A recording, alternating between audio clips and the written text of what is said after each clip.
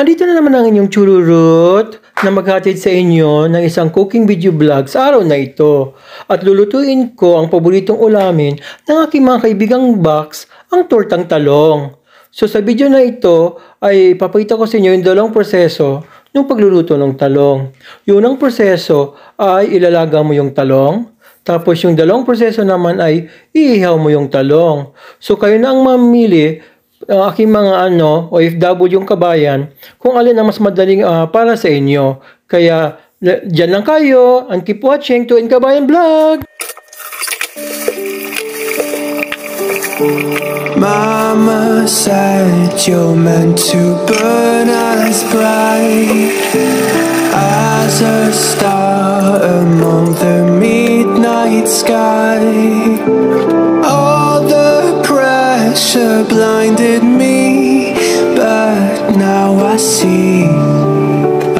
different from the rest.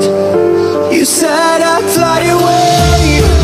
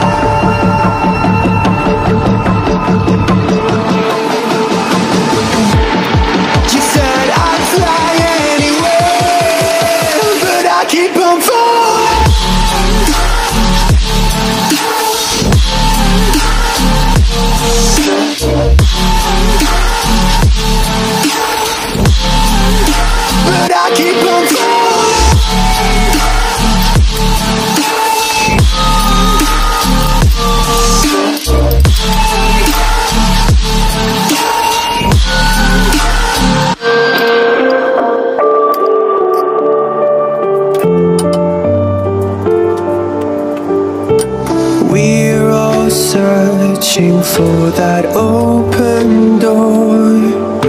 Show me proof that there is something more. I just hope I am okay with the choices I make. Maybe then I'll understand. You said I'd fly away,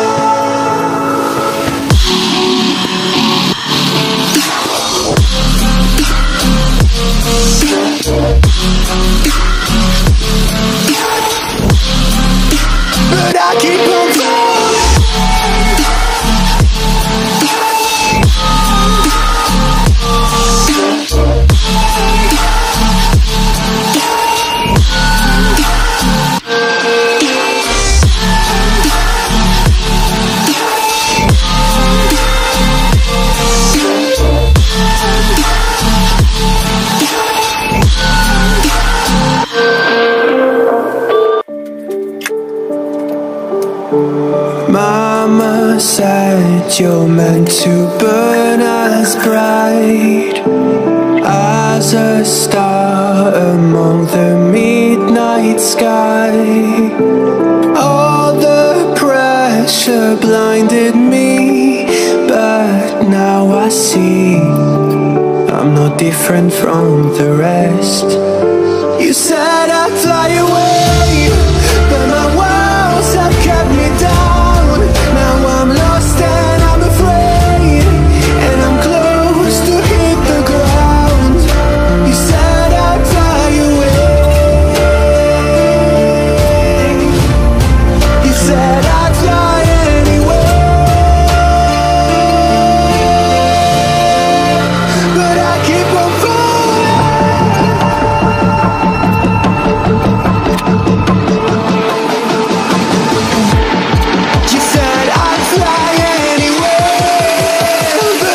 keep on falling.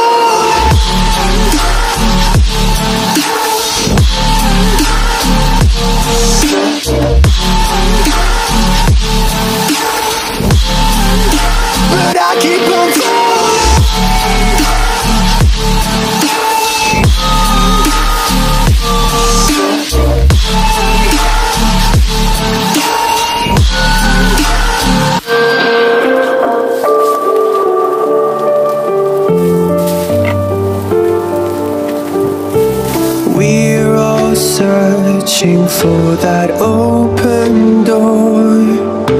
Show me proof that there is something more. I just hope I am okay with the choices I make. Maybe then I'll understand. You said I'd fly away. Hello guys, ito na yung finished product ng ano, ng ah, video ah, cooking ko for today. So ito yung ano, ito yung normal na ah, pagluto ng talong na pinakuluan ko dun sa ano, sa tubig. Ito naman yung ano, crispy talong na inihaw ko dun sa may kalan gas range namin kasi wala naman kaming ano dito. So since wala naman akong air fryer, kaya, kaya hindi siya masyadong crispy. But anyhow, at least na-try ko. Mamaya, pagkatapos ng uh, pagkumakain si Mox, tatanungin ko si Mox kung anong lasa. Okay? So, let's, uh, let's eat, guys. At ka na, Mox.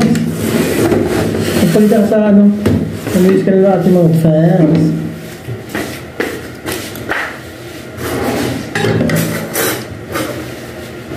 Ngayon, tikman mo yung talong para malaman ko anong lasa. Yun yung ano, ano ko sa ano, pinakuha ko sa tubig. Yan naman yung inihaw.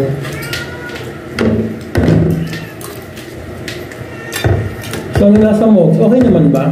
Hmm. Kumusta naman ba sa panglasa mo? Okay naman. Okay pa rin yung ano, Yung inihaw. sa inihaw ka pa rin? Mm.